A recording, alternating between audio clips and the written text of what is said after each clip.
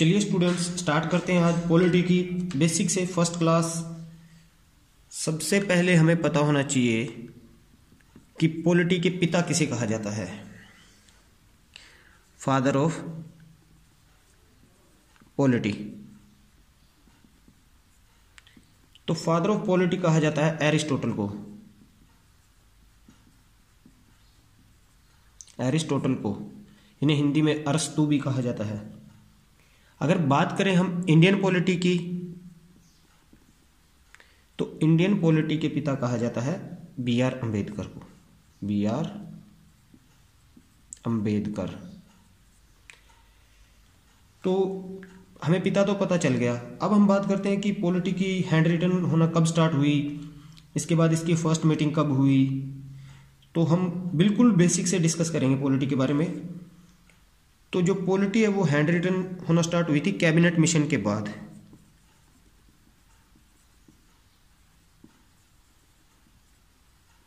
Cabinet mission plan था। यह था 16 मई 1946 में। इसके बाद पॉलिटी हैंड रिटन होना स्टार्ट हुई थी। तो ये भी था ना कि किसी ने कहा होगा कि पॉलिटी आपके इंडिया में भी कोई संविधान होना चाहिए, कोई कॉन्स्टिट्यूशन असेंबली होनी चाहिए। ये सुजेस्ट किया था यूके के पीएम थे। यूके के पीएम एटली उन्होंने सुजेस्ट किया था कि इंडिया में भी कोई कॉन्स्टिट्यूशन असेंबली होनी चाहिए। तो उस टाइम तीन पर्सन आए थे Pethick Lawrence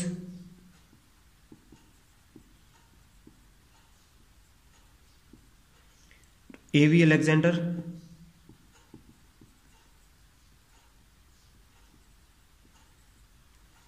और Stanford Cripps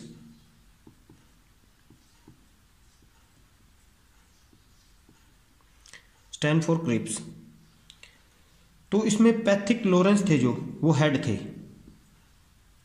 Pethick Lawrence head थे। और ये सेक्रेटरी ऑफ़ इंडिया थे। सेक्रेटरी ऑफ़ इंडिया ये चीज़ आपको दोस्तों किसी भी यूट्यूब चैनल ने कहीं पे भी नहीं बताई होगी, किसी भी एकेडमी में। और ए वी अलेक्जेंडर थे, ये नौसेना के अध्यक्ष थे। नौसेना के अध्यक्ष थे। और जो स्टैंड फॉर क्रिप्स थे, ये व्यापार बोर्ड के थे।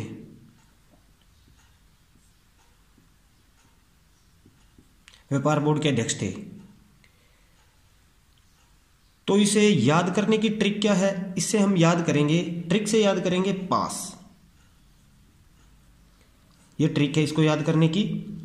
पी से पैथिक लोरेंस और ए से एवी अलेक्जेंडर, एस से स्टैंडफोर्ड क्रिप्स फिर से रिपीट कर देता हूँ। इसे याद करने की ट्रिक है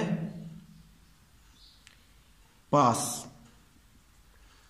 पी से पैथिक लोरेंस, ए से एवी अलेक्जेंडर, एस से स्टैंडफोर्ड क्रिप्स इससे अक्सर क्वेश्चन पूछा जाता है कि जो हेड थे इन तीनों में कैबिनेट मिशन प्लान में, उसकी अध्यक्षता किसने की थी? तो वो की थी पैथिक लॉरेंस ने।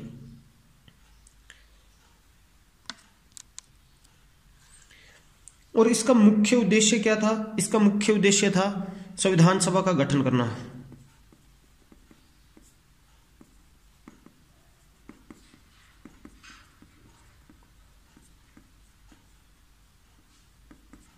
संविधान सभा का गठन करना। और बात करते हैं इसकी फ़र्स्ट मीटिंग की। फ़र्स्ट मीटिंग थी जो, वो हुई थी इसकी 9 दिसंबर 1946 को। इससे पहले हमारी इंटरिम गवर्नमेंट बन चुकी थी। इंटरिम या टेम्परेरी वो कब बनी थी? वो बनी थी 2 सितंबर 1946 को। उसमें कुछ मेन जो है लीडर थे, उनके बारे में हम डिस्कस कर लेते हैं। जो होम मिनिस्टर थे होम मिनिस्टर थे, वो थे सरदार वल्लभ भाई पटेल।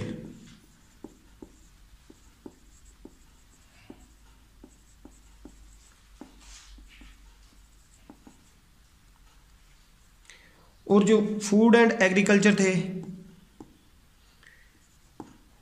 फ़ूड एंड एग्रीकल्चर, वो थे डॉक्टर राजेंद्र प्रसाद।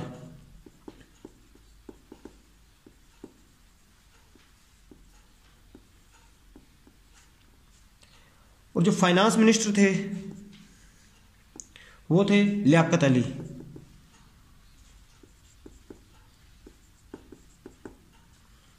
और जो एक्सटर्नल अफेयर थे एक्सटर्नल अफेयर थे, वो थे हमारे जे एल नेहरू जो पहले प्रधानमंत्री भी हुए। हैं जे एल नेहरू। और रेलवे मिनिस्टर थे?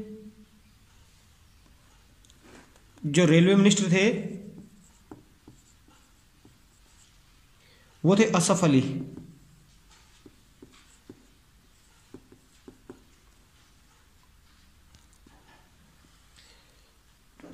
रेलवे के बाद आता है लेबर मिनिस्टर। वो थे हमारे जगजीवन राम।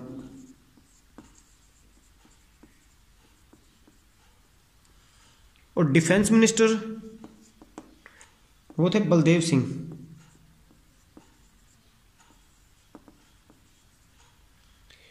और एजुकेशन मिनिस्टर वो थे हमारे सी राजगोपालाचारी।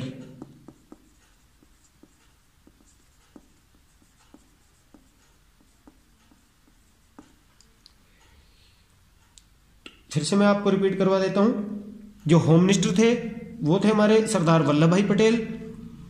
फ़ूड एंड एग्रीकल्चर थे, वो थे डॉक्टर राजेंद्र प्रसाद, और जो फाइनेंस थे, वो थे Liaquat Ali external affair minister थे, वो थे जे एल नेहरू और जो रेलवे मिनिस्टर थे, वो थे हमारे असफ अली और जो रेलवे थे, वो थे जगजीवन राम डिफेंस थे, वो थे बलदेव सिंह और जो एजुकेशन एजुकेशन मिनिस्टर थे, वो थे सी राजा गोपाल चारी ये थे हमारे इंटेरिम या टेम्परेरी गवर्नमेंट के मिनिस्टर ये हमने इसलिए डिस्कस किया है क्योंकि एग्ज़ाम में अक्सर पूछा जाता है कि हमारे फ़र्स्ट एजुकेशन मिनिस्टर कौन थे?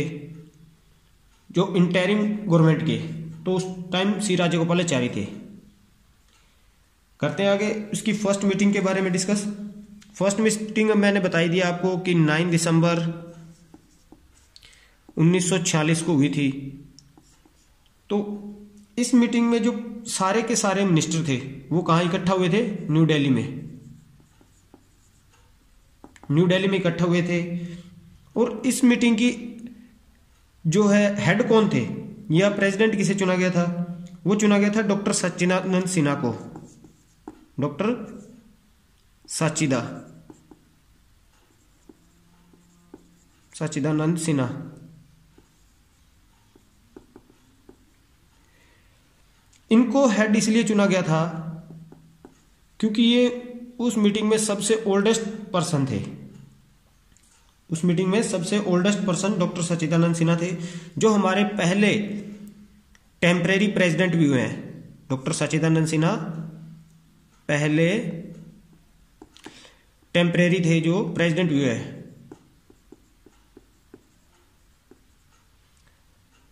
प्रेसिडेंट भी हुए हमारे। इसके बाद इसकी सेकंड मीटिंग की बात करें तो सेकंड मीटिंग हुई थी इसकी। 11 दिसंबर 1946 को। इसकी पहली मीटिंग 11 दिसंबर 1946 को हुई थी। इस मीटिंग के हेड थे डॉक्टर राजेंद्र प्रसाद।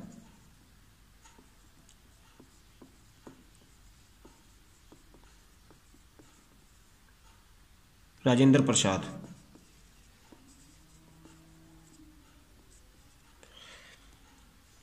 ये हमारे पहले परमानेंट प्रेसिडेंट बने थे। परमानेंट प्रेसिडेंट बने थे। हमारे पहले परमानेंट प्रेसिडेंट बने थे डॉक्टर राजेंद्र प्रसाद। डॉक्टर सचिदानंद सिन्हा थे, वो दो दिन के लिए ही रहे थे हेड दो दिन के लिए ही हेड रहे थे। उसके बाद उनको हटा दिया गया था और डॉक्टर राजेंद्र प्रसाद को परमानेंट हेड बना दिया गया था। इसके बाद इनको सबकी, सभी मेंबर की, मिनिस्टर की सहमति से हेड बनाया गया था। परमानेंट प्रेसिडेंट चुना गया था, सभी की सहमति से चुना गया था। और 13 दिसंबर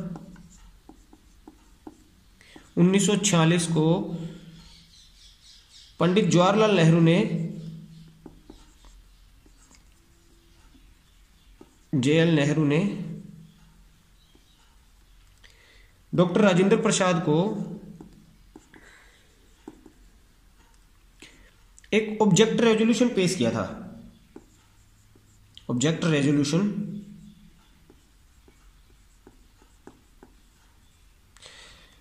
ऑब्जेक्ट रेजोल्यूशन पेश किया था। वो क्या था? वो एक वाइट पेपर था। वाइट पेपर था। उस पर कुछ एम और ऑब्जेक्ट लिखे हुए थे, जो कि आगे जाकर हमारा प्रियम्बल बना। उस पर कुछ एम और ऑब्जेक्ट थे, जो कि आगे जाकर हमारा प्रियम्बल बना। और एग्ज़ाम में अक्सर अक्सर क्वेश्चन पूछा जाता है कि ऑब्जेक्ट रेजोल्यूशन पे फ़र्स्ट टाइम डिबेट किस डेट को हुई? तो वो फ़र्स्ट टाइम डिबेट हुई थी जो, वो हुई थी 22 जनवरी 1947 को। 22 जनवरी उन्नीस सौ सैंतालीस को फ़र्स्ट टाइम उस पर डिबेट हुई थी। और अभी तक हमारा जो प्रियम्बल है, वो एक बार ही अमेंड हुआ है। वो है फोर्टी सेकेंड अमेंडमेंट थी और उन्नीस सौ छिहत्तर में। उसमें एक बार ही अमेंड हुआ है ओनली वन टाइम और प्रियम्बल स्टार्ट कहाँ से होता है? We the people of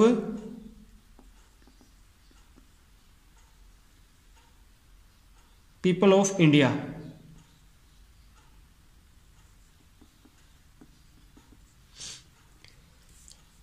I hope कि आपको ये वीडियो अच्छी लगी होगी।